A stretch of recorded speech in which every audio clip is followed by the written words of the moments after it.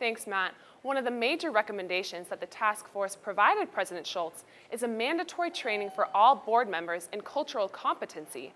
WSU students are supportive of the idea.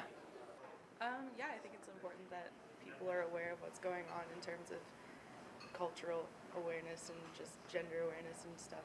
Like it, it'll be better for more people if more people know about what's going on. I mean, especially at like a university, like since you have so many people like of other cultures, that it'd be important that you take into account more than just your own and in being respectful to more than just your own. So.